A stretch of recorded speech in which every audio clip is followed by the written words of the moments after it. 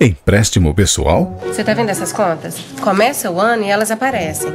E contas é assim, né? Aonde a gente vai, elas vão atrás. Calma, quando as contas pegam no seu pé, a da casa não deixa você na mão. Aqui é dinheiro na mão, sem burocracia. Aceita uma água? Empréstimo pessoal da casa. As menores taxas, com pagamento no carnê ou cheque. Passe na da casa e aproveite as facilidades que só a maior financeira do estado oferece. Empréstimo pessoal?